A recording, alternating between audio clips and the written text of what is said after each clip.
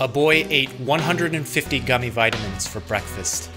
This is what happened to his bones. TJ is a 14 year old boy presenting to the emergency room with muscle weakness, stomach pain, and a broken arm. Sitting in triage as he was deemed low priority by hospital staff, he begins to lose consciousness before slipping into a coma. You see, last spring, TJ and his mother had had enough. Coming home from school every day, TJ would see his dad wasted away in a drunken haze. One day, his dad went out to buy groceries, and he never saw his dad again. His now single mother thought to move to America, so the two together went to the big city to visit. They weren't poor, but neither spoke English, nor did they realize that things here are a bit different than at home. Since childhood, TJ had been a fan of gummy candies. He was curious to see what they tasted like in America, so his mother bought him many bottles. To them, candy coming in a bottle didn't seem strange. After all, they thought everything was supposed to be nice in America. Every day, he would eat 30 to 40 pieces, not knowing that the candies were actually vitamins. As the days went on, TJ's mother noticed that his belly was becoming swollen. They always joked back home that American food makes one fat, so maybe eat a little less, she thought. One day, while watching some videos, TJ opened a new bottle of gummies and without realizing it, ate all 150 pieces. Nothing like a good breakfast, he thought. About an hour after eating the whole bottle of gummy vitamins, TJ can't stop urinating. He begins to cry out in pain. He's suffering a massive stomach ache and tells his mom that he feels like a giant rubber band is squeezing him. This epigastric pain begins to push into his throat. As his mother tries to lay him down, TJ trips, falls, and breaks his arm. The two call for help. Inside the ambulance, TJ feels nauseous and starts to experience shock from his accident as he's brought to the emergency room where we are now. Upon arrival, the admitting nurse triaged TJ's case, thinking it to be a mere bone fracture, but as he slipped into coma, immediate attention was brought to him.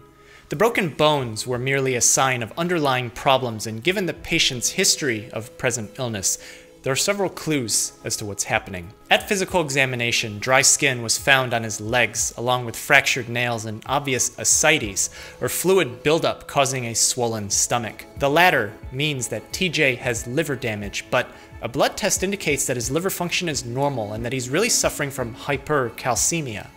Hyper meaning high, calci short for calcium, which is an essential electrolyte, and emia meaning presence in blood high calcium presence in blood.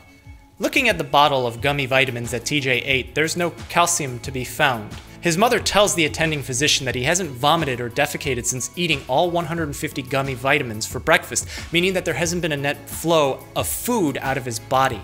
Those vitamins should be floating around somewhere in his blood and thus should be detectable in large amounts. Additional sampling of blood finds no significant elevations in vitamins A through E, and no elevations in iodine, zinc, and selenium. Instead, it reveals that TJ is dehydrated, which is consistent with his profuse urination before falling into coma, but it also leads us to the first clue. Absence of vitamins in blood after eating 150 gummy vitamins means that they could have exited the body in the urine. His profuse urination before presenting to the emergency room could be consistent with this. Vitamins B and C are classified as water soluble, meaning that they dissolve in water, concentrate in the kidneys, and appear in the urine.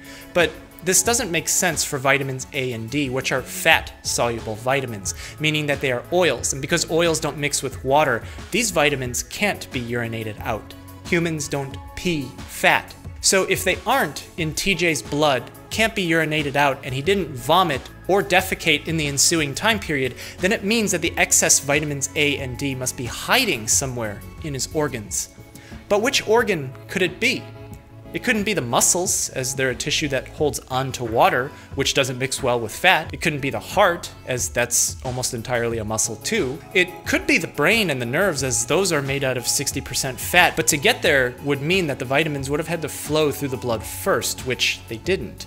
And because TJ ate the vitamins, the gummies traveled from his stomach into his intestines and absorbed into his liver, which was shown to be damaged with the physical sign of ascites. This indicates that TJ is suffering from hypervitaminosis and it's responsible for his liver damage, his hypercalcemia, and his broken bones.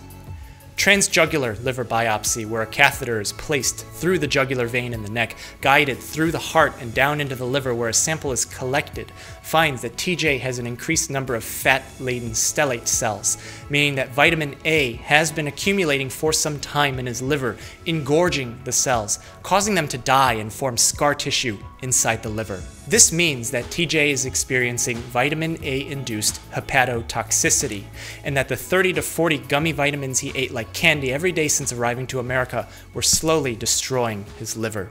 This makes sense because in eating 150 gummy vitamins for breakfast, TJ had consumed 187,000 units of vitamin A in a single sitting. You would have to eat 720 eggs to have matched that vitamin A intake, and it's equal to 63 times the recommended daily amount. And because he would typically eat 30 to 40 pieces per day, which is 20 times the recommended daily dose, in addition to the other foods that he would eat, then we can conclude that his liver damage is because of hypervitaminosis A due to mistaken ingestion of gummy vitamins as candy.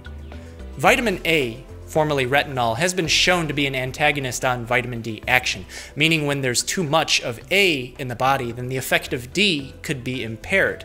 But let's go back to the name of TJ's condition, hypercalcemia, high calcium presence in blood. Vitamin D acts by increasing intestinal absorption of calcium, meaning it increases calcium levels in the blood through more uptake in food. TJ didn't eat any extra calcium in his gummy vitamins, but he did eat 75,000 units of vitamin D, 188 times the recommended daily value. And if vitamin A blocks the effect of vitamin D and prevents calcium in the intestines from absorbing it, then the source of his hypercalcemia must be coming from something breaking down and dissolving inside of his body.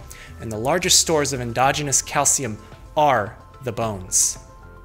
Vitamin A is metabolized in the body to active retinoic acid, which is known to stimulate osteoclast formation. Osteo meaning bone, and clast from ancient Greek klastos meaning broken. Cells that soften, then slowly break bone down and release the remaining calcium into the blood. This bone resorption had been accumulating in TJ since he started unknowingly eating gummy vitamins like candy until it reached a threshold where a simple fall that should have been no problem for a previously healthy 14 year old boy fractured multiple bones in his arm. The consumption of excess nutrients causing bodily injury is a recurring modern world phenomenon. Milk was fortified with vitamin D in order to prevent rickets, or the softening of bone that can cause permanent deformation in children. Because that vitamin D increased intestinal calcium absorption, the fortification wasn't standardized. The British Pediatric Association in 1956 found 204 cases of hypercalcemia in infants who suffered vitamin D intoxication by drinking milk. This led to a failure to thrive that could have permanently stunted their growth. Epidemiological surveys showed that in Sweden and Norway, vitamin A intake was on average six times higher than in Southern Europe. In persons whose intake of vitamin A exceeded 5,000 units per day, bone mineral density was 10% less, and the risk of hip fracture was more than double that of someone who consumed less than 5,000 units per day. In 1597, a Dutch explorer stopped on Nova Zembla in modern day Canada while trying to reach Indonesia. His men ate polar bear liver, and their skin started sloughing off in the dead of winter as they became gravely ill. It was identified in 1942 that vitamin A was the toxic component in seal and polar bear liver because in carnivores, 100 grams of liver contains anywhere from 1.3 to 1.8 million units of retinol compared to 50,000 units in an herbivore liver. In Kenya, a Homo erectus skeleton dated from about 1.5 million years ago was found to have large osteocytes with lacunae that produce osteolysis, the breaking down of bone, with evidence of partial dissolution of the bone matrix. The weakening of structural integrity in bones is characteristic of vitamin A intoxication, and the dating of the skeleton coincides with a hypothesized increase in meat consumption in early humans. They may not have understood which animal livers were okay to eat, meaning that the mechanism of liver damage, ascites, hypercalcemia, and bone deterioration is the same in this proto human as it is in TJ. We can mend the fractured bones. We can advise him on temporary behavioral changes to limit his risk of further fractures. We can drain his ascites with diuretics, where spironolactone and furosemide, through different mechanisms, increase sodium resorption in the kidneys. And because water flows towards the concentration gradient, water flows towards the sodium, they help stimulate natriuresis. But there isn't any way for us to directly remove the vitamin A from his liver he will have to bear the pain of his acute and chronic hypervitaminosis A until his liver has sufficient time to clear the retinal esters. After all, there isn't a better organ that removes toxins from the body than the liver. Because TJ and his mother were only visiting the United States, we don't know what became of them. At discharge, nail and skin dystrophy were beginning to resolve and the ascites was diminished, indicating some recovery of liver damage.